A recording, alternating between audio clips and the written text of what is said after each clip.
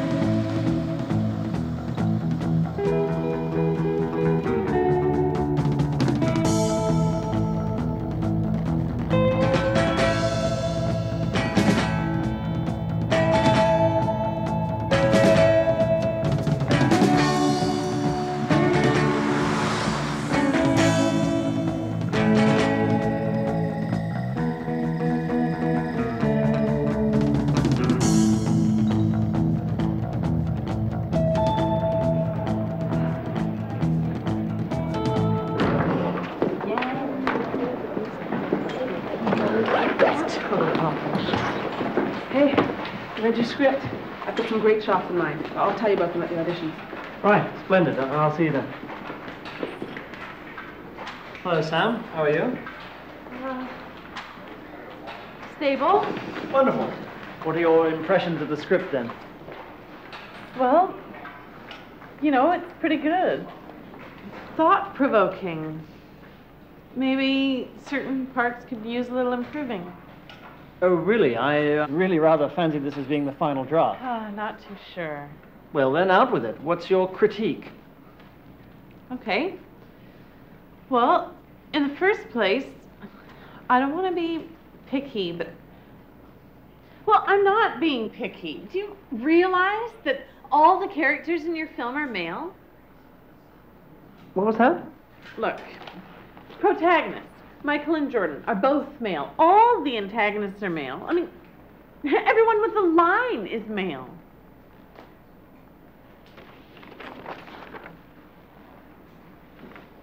Um.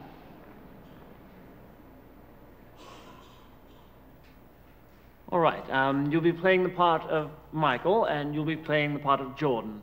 Now, in this scene, uh, you're in a VW bus, right? That's a Volkswagen. Cool. And you're on your way to the Yukon.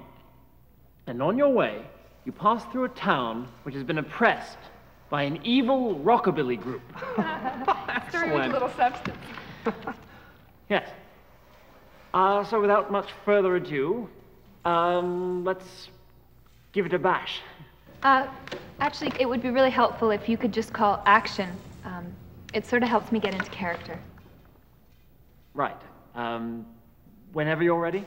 Okay. Um, anytime. Okay.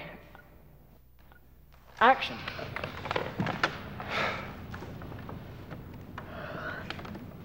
You, uh, ever notice how small towns are always trying to prove their worth? Oh, God, I'm sorry. I think you're gonna have to do all the driving tonight. I am so tired. I mean, I've driven across British Columbia before, and uh, every time you enter a town, there's always a sign like uh, "Welcome to Kamloops, tournament capital of BC," or uh, "Lytton, river rafting capital of BC," "Hope, chainsaw carving capital." Little of... man syndrome? What's that? Oh, uh, oh, nothing. And cut. Great. Brilliant. Uh, absolutely smashing. Um, well, I, I don't think we have to look any farther. I mean, uh, basically, you've both got the part. That's great. Awesome. Thank you. Um, well, I'll, I'll tell you what. You can keep those copies of the scripts and uh, go through them. Any questions, just call.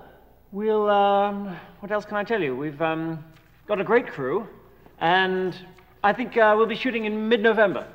Ah, shoot. Uh, is there any way you could change that? Uh, I'm totally sorry, but I've already committed to another project uh, in November. Uh, I mean, I, I mean, I really want to do this one. In fact, it's it's a much more exciting project. But uh, the only problem is I've already said yes to them. Yes, that, that is a shame. Um, well, I'll tell you what. I'll see what I can do. Great. Thanks. Roll sound. Speed. Roll camera. Rolling. By Bravo, take two.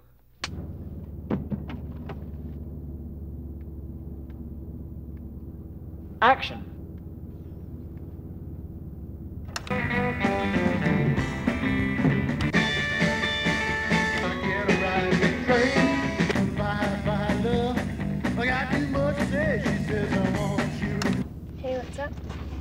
It's uncanny. Every station is playing Rockabilly.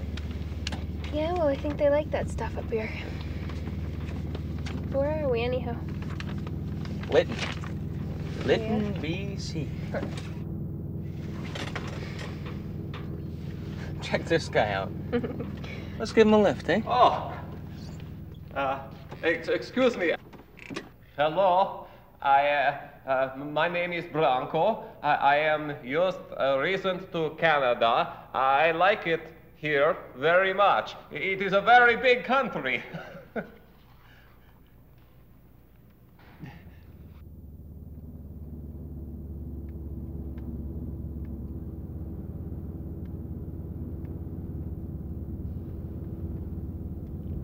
Again, my friends, I must thank you. It is very nice for you to stop by me. It is a very Canada thing to do.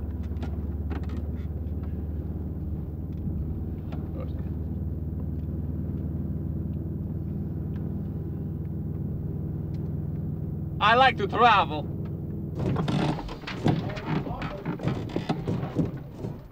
It's a very big country.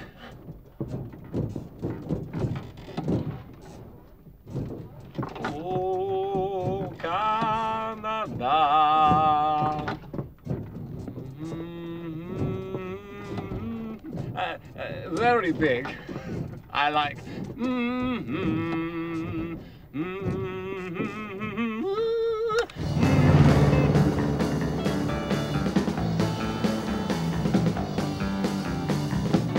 Scene eight, takes three. Mark?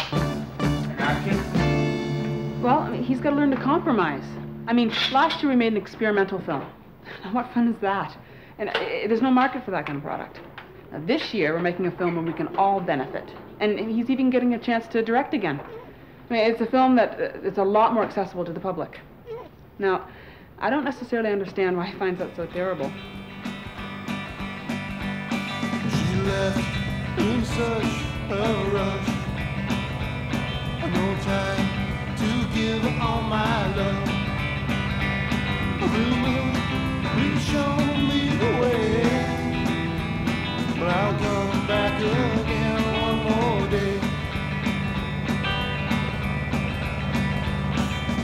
Okay, let's go again. Lock it up. Roll sound. Speed. Roll camera. Mark it. 10 Charlie, take two. Mark? Action. Wait and see, Taylor. I'm gonna ditch this little town.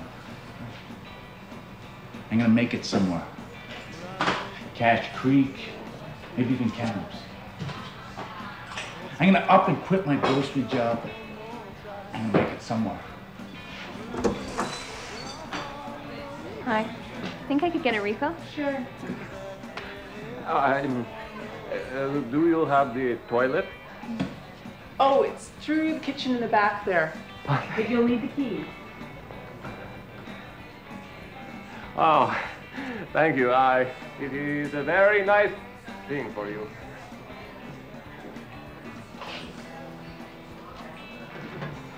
Where are you from? Where you going? Ah, from Vancouver, and we're on our way to the Yukon. I've never been there before, and I'm kind of into checking out the wilder parts of the country. Oh, yeah, no kidding, huh? Me too. Yeah, I'm into that. Yeah. Yeah. It seems uh, pretty cool around here, though, eh? Yeah, yeah. But it's deceiving. Yeah. Well, that's a nice place to drive through, you know, a nice place to visit, but it's like any other small town, yeah. Once you got your roots there, you want to get out, you know what I mean? Okay, along with gas, that'll be $19.84. So, uh, you're not too fond of the place anymore, eh? Mm-mm. Know it too well. Typical small town. Well, it's got its quirks. It's, it's got its quirks. Yeah, I'll say. What's with the radio? Every single station is playing that god-awful rockabilly music.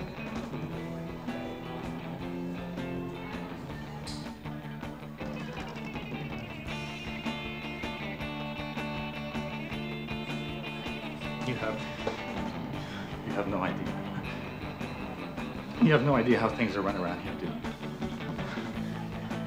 I mean, you have no concept of how things are. You shouldn't have said that. I mean, I mean, you, you could think it, but you don't say that.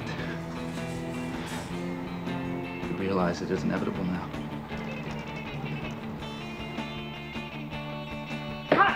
Who's goddamn? Uh, Ralph? Is it Ralph? Ralph. Improvisation is wonderful. It's the heart of an actor. But stay within the realm of the script, Ralph. This, this, uh, it's inevitable now? What's inevitable now, Ralph? What? Yes, thank you, Ralph. Okay, let's go again. Log it up. Roll sound. Speed. Roll camera. Rolling. Mark it. 12 more on take two. Cut. Could we have someone else do the slate, please? You see, it's not that I have anything against narrative per se. It's just that it's so confining, isn't it? Unless you adhere completely to the script and then you underline every single little plot point, your audience gets all confused and they don't know where they are. I mean, take for example the scene with, with Jordan and Michael when they leave the diner and, and they don't have Bronco with them. I mean, we didn't get that scene. How on earth is the audience ever supposed to follow, the, with any sort of continuity, the scene that comes next? Scene 14A, take one, mark.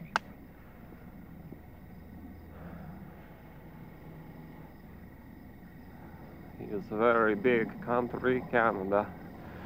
There's Ontario and uh, Prince Island and Chilliwack. Very and big. Alberta. It's a very big country. Canada. Uh, I like Canada. Saskatoon. Uh, big. Uh, Newfoundland and Do you know? Where's the car?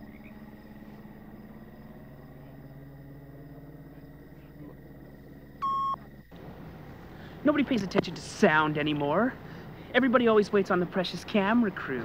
And whenever there's a problem with the sound uh, on like a location or with the film camera, then they all look to me like it's my fault and they say, deal with it. Well, when we get to post production and it's all over and everything's up, then they turn back to me and they give me this real hurt look like, what did you do?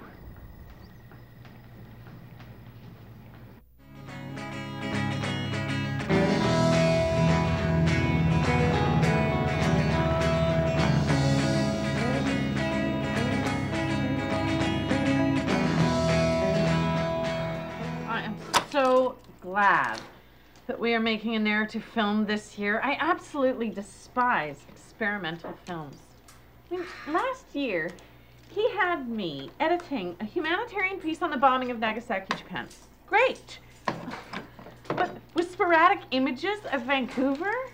I mean, last term, all I ever did was decontextualize, recontextualize, decontextualize, recontextualize.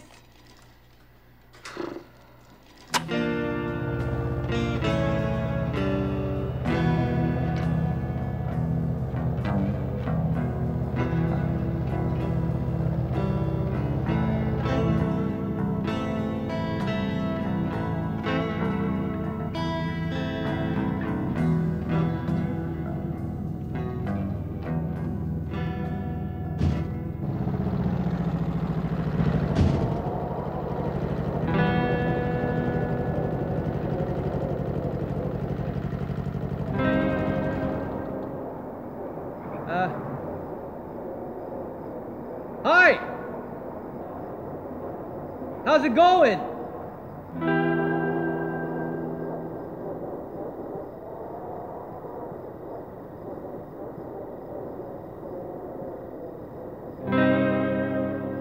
We've heard your music.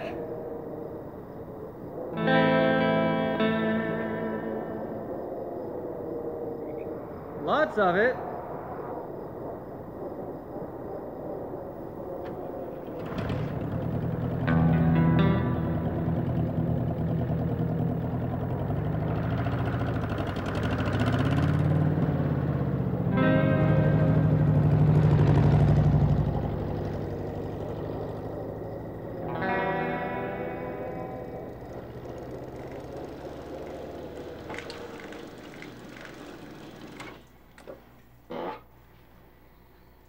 Well, what do you think? I. I don't like it. It's.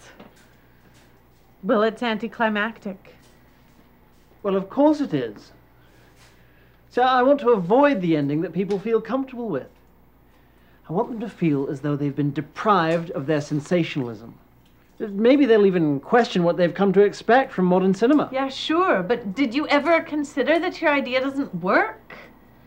I mean, I don't think that this notion of anti conventionalism actually conveys itself to the viewer. They'll leave just thinking it's a boring film. I, I agree. Look, I think your idea is cool and all, but we just didn't capture the essence of it. And now we're left with an ending that is, well, it's half baked. Half-baked. I see. So you both feel this way, do you? Yes.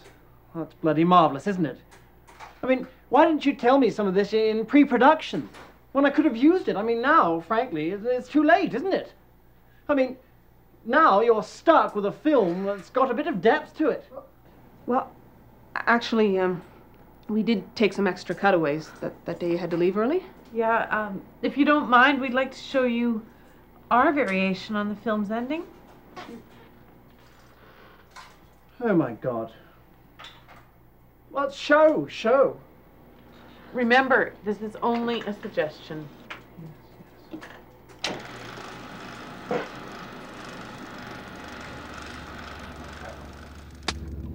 And action.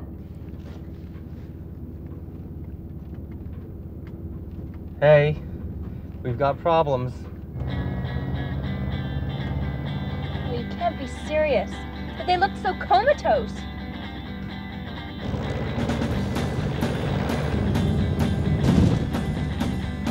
God. Oh my God, can't you go any faster? What are you kidding? This is a 1978 fully capitalized standard four speed. They've got a 1975 five speed with a stick shift extension. What?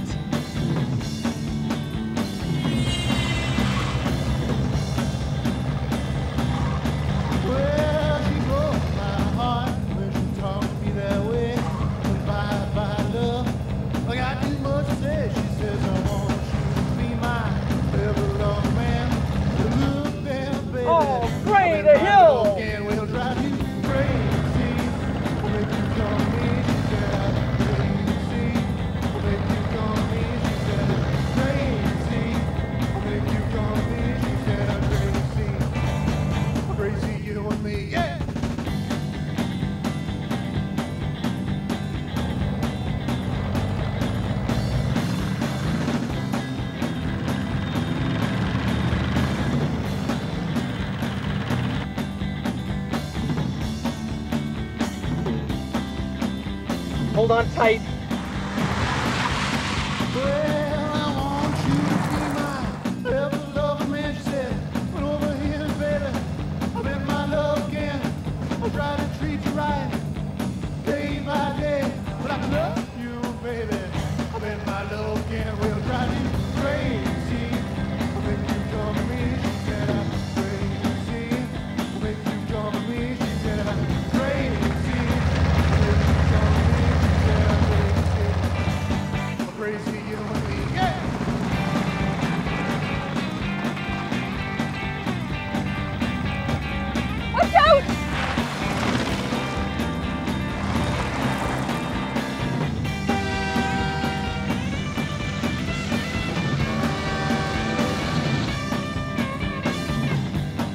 can make it. I can make it.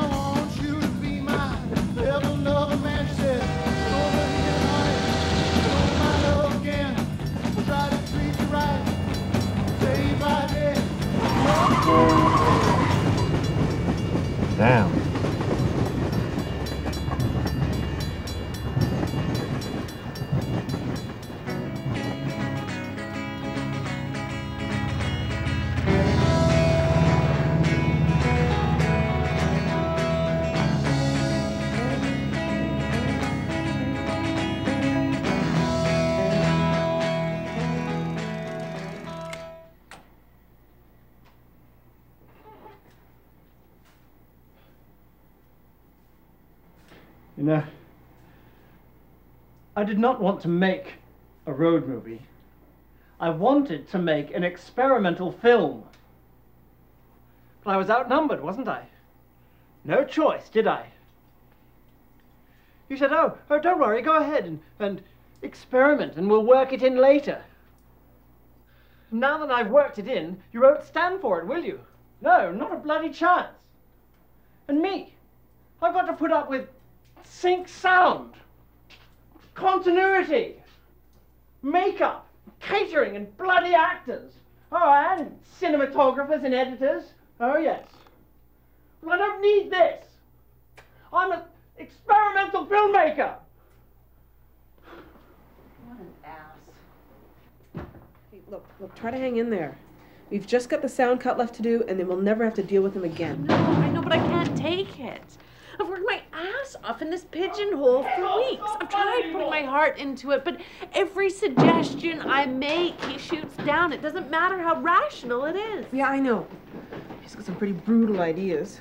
But what can we do? I mean, he's the director, and unfortunately, he's got the final say. Yeah, right. If it hasn't occurred to you, we are graduating this year. I don't want to have to go out into the real world with nothing to show that I'm proud of. What about you? Your best shots ended up in the trim bin. He was fundamentally opposed to them. And he said they were too polished. Well, there's always graduate school. And cut. Okay, that, that looked pretty good. What do you guys think? That's okay. That's good. Sound good. Hey, uh, what do you think of your performance? How do you feel about it? Okay, great. Well, that's take. It's a wrap. Let's break it up. All right. Let's go, guys. Let's go. I don't wanna make a road movie. I'm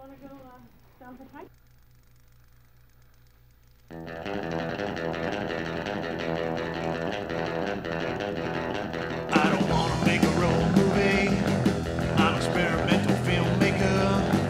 No need for sync sound, no need for catering. Actors are our father, so is continuity. Unionized crews and big budget suck. I'm experimental filmmaker.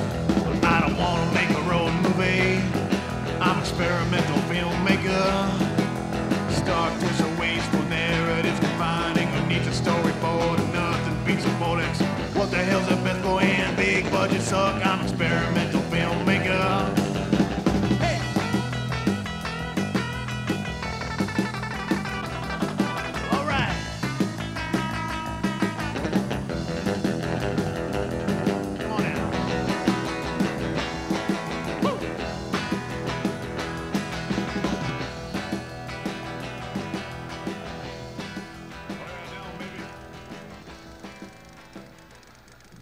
Yep, and roll camera. Speed. Mark. And action. Hey, how's it going? You guys not- keeping warm? Yeah, it's not doing too bad. I got a question for you. Like, uh, did you write any like lines for me in, in this film, or? Uh, yeah, that's, that's the thing I was thinking about. It would be it would be great. I know you asked about it before, but the, I guess the problem is we like to think of you as like the dark, ominous force, and I don't know what lines would really work. But I, I'll, I'll tell you what, I'll, I'll, I'll really try. Uh, uh, there's there's gotta be something. I'm sure it'll work. Well, hey, whatever you can do, man. Yeah. Okay. Yeah. Well, in a bit. Right on. Thanks.